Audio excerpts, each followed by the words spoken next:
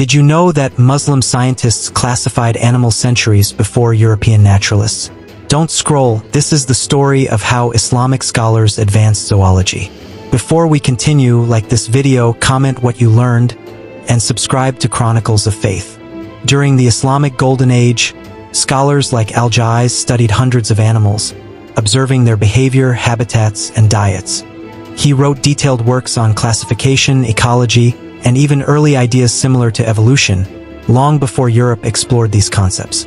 Other scholars, such as Al-Damiri and Ibn Bakhtishu, expanded this knowledge carefully documenting mammals, birds, fish, and insects. Their research influenced medicine, agriculture, and scientific thought. These scholars didn't just describe animals, they laid the foundations of modern zoology.